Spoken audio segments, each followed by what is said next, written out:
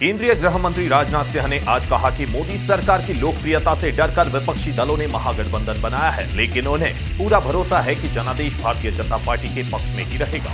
Mauritius के प्रधानमंत्री प्रविंद जगन्नाथ पंद्रहवें प्रवासी भारतीय सम्मेलन में भाग लेने चार दिवसीय दौरे पर सोमवार को वाराणसी पहुँच गए हैं।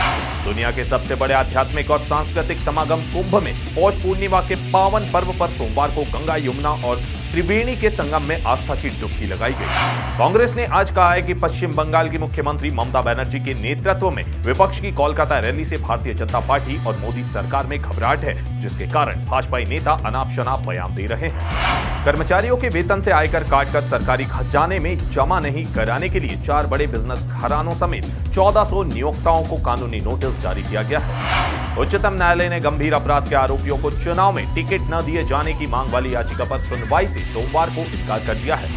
जीवन बीमा क्षेत्र की देश की सबसे बड़ी कंपनी भारतीय जीवन बीमा निगम, यानी कि एल ने सार्वजनिक क्षेत्र के आईडीबीआई बैंक में इक्यावन फ़ीसदी नियंत्रक हिस्सेदारी का अधिग्रहण कर लिया है। सोमवार को इंदौर में बढ़ते अपराधों को लेकर और भाजपाई नेताओं को निशाना बना रही कमलनाथ की सरकार के खिलाफ पुतला जलाने आए भाजपाइयों में गुटबाजी साफ़ नज़र आई, जब भाजपाई नेता कांग्रेस सरकार का एक पुतला जलाने के बजाय अपने अपने दो तीन पुतले लेकर जलाने पहुँचे। वहीं एक पुतले पर जब मुख्यमंत्री कमलनाथ का फ़ोटो लगा दिखा तो शहर अध्यक्ष गोपी नेमा ने तुरंत पुतले ऐसी फ़ोटो हटा लिया।